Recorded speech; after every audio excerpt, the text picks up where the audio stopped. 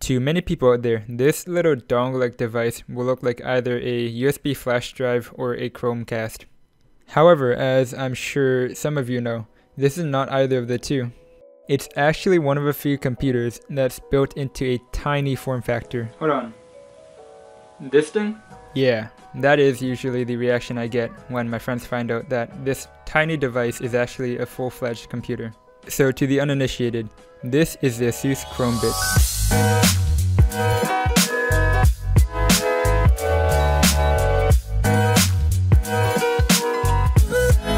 So, like the name suggests, the Chromebit runs Chrome OS, which is commonly found on Chromebooks. There are other products like this out there, such as the Intel Compute Stick, which can run a full desktop version of Windows. Now, these little things aren't actually anything new. In fact, the one I have here was actually introduced in March 2015. But these devices aren't for everyone. That's probably why a lot of people haven't heard about them. So, who could actually make use of such a small machine? I mean, the specs aren't that impressive, well, the Chromebit is actually aimed towards enterprise users. The idea is you would use a bunch of these small computers, which also happen to be pretty cheap, to power kiosks in shopping malls. That's just one of many applications that one of these things can be used for on an enterprise level. Still, a small number of consumers may find such a device useful, like myself. Currently I'm using my Chromebit to complement my home theater setup. So why don't I just use a Chromecast well, I have a Chromecast and I use it more frequently than I use my Chromebit. It's an older generation, but it's a lot more convenient. For the average person who wants to watch videos or movies on their TV, I would just recommend a Chromecast. However, as convenient as the Chromecast is, there are many things that it cannot do, or not do well. One of them is playing videos on unsupported websites.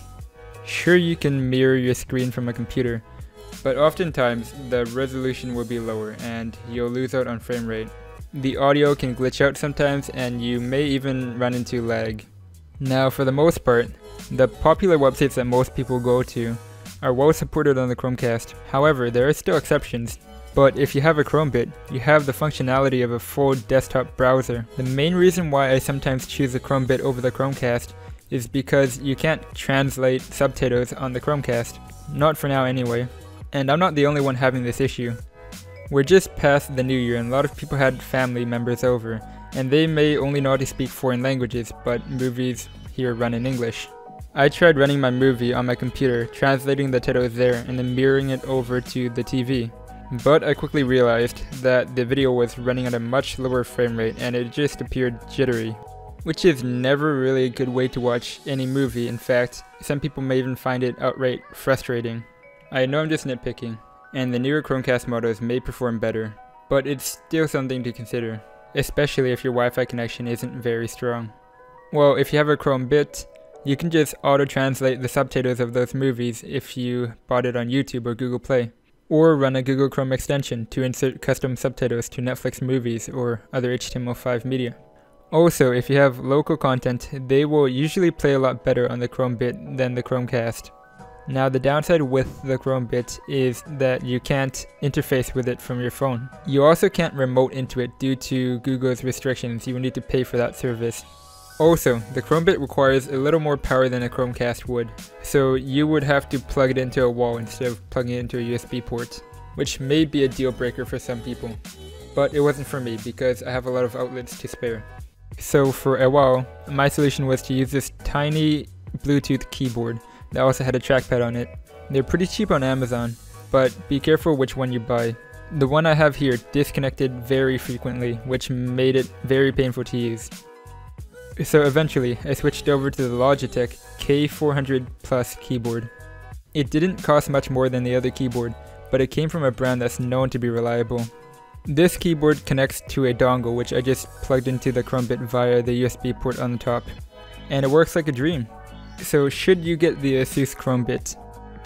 Well, if you have any issues related to the ones that I listed, then you should take a serious look into this product. Having a computer connected to the TV has solved many issues for me, and it isn't that expensive for a full-fledged computer. So if you're thinking of getting one, feel free to comment below. Also, if you already have one, let us know how you're using it. That's it for this video, I'll see you next time.